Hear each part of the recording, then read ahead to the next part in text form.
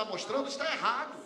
O índice inflacionário, presidente, ele diz que é 3,93, quando não é, é mais. E nós, quando não ganhamos a data base no período acertado, nós temos perda do nosso ganho de salário. Nós temos perda. E tem outras sinalizações importantes. E essa eu quero dizer para o interior do estado que está aqui nos ouvindo e que está nos assistindo.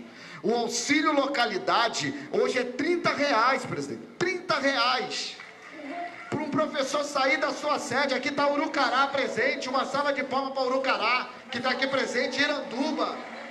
Os municípios estão se juntando porque ele sai da sua sede para a escola e ele tem que pagar o transporte que é caro, tem que pagar a sua localização que é cara. Então a gente precisa aumentar esse auxílio localidade. E sabe onde vai acontecer isso? Aqui nesta casa.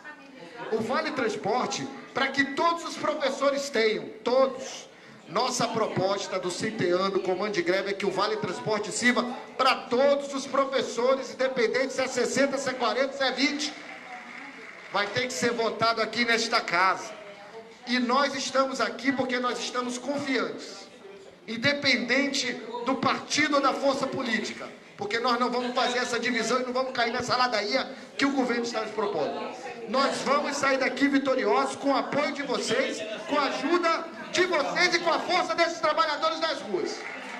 Agora, a greve não vai parar a greve não vai acabar enquanto nós não tivermos uma sinalização clara do governo daquilo que nós merecemos, que é justo. Porque dizer que é 3,93 e nada não é negociação, é imposição. Isso nós não podemos aceitar.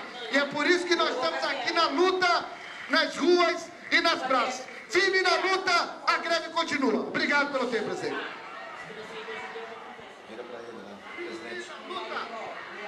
A greve continua.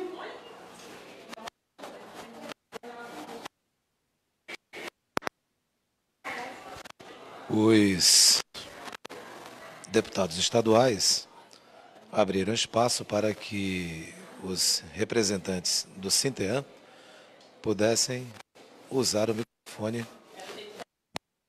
falar essas situações que ocorrem com os professores. Isso é o grande expediente. Primeiro orador inscrito, deputado Dervilson Chagas, pelo tempo de 20 minutos. Senhor presidente, deputado, é, a dinâmica é, da sessão vai ser entrar no grande expediente. E aí cada um vai ter seu tempo. A gente vai votar dentro de alguns minutos para saber o resultado da reunião entre o presidente da Assembleia Legislativa e os professores do comando de greve. Atual, cinco anos, compartilhando a verdade.